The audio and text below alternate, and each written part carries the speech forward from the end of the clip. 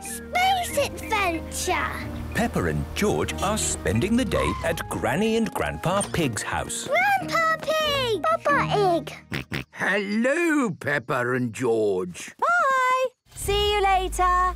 Bye. Hello, Peppa and George.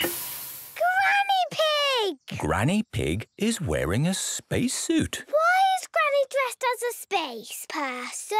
Oh, Granny is playing another little game with her friends. I'm doing an important historical reenactment.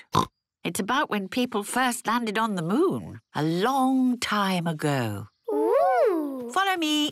If you ask me, it's just an excuse to have cups of tea and some cake.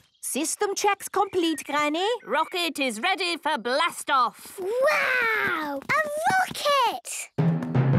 Yes, it's Grampy Rabbit's. He's kindly lent it to us for the day. What excitement! I'll just get the rocket ready for its blast off to the moon. Granny, are we really going to the moon? No, Peppa, it's just pretend. Ah! We are going to pretend the garden is the moon. And do the things they did on the first moon landing. We will plant a flag. And we will collect moon rocks. Just be careful of my rockery. Don't worry, Grandpa Pig. We will be very careful. Well, while you play your game, I think I'll make myself useful getting the tea and cakes ready. Have fun. All aboard, everyone! Ten, nine, eight, Oh, seven, well, I suppose these harmless little garden games keep Granny happy. three, two, one! We have liftoff! Oh my goodness! Grampy Rabbit's rocket has really taken off! Why does the game have to be so noisy? Grampy Rabbit! This was just meant to be pretend. Pretend? What would be the fun in that? So, are we really going to the moon? We certainly are. It's the space adventure of a lifetime! If we're really going to the moon, I suppose our reenactment will be even better.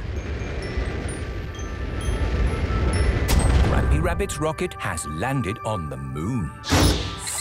It's one small step for Granny Pig. And one giant leap for Grampy Rabbit! Woohoo! Come on, Peppa and George! the moon is very bouncy.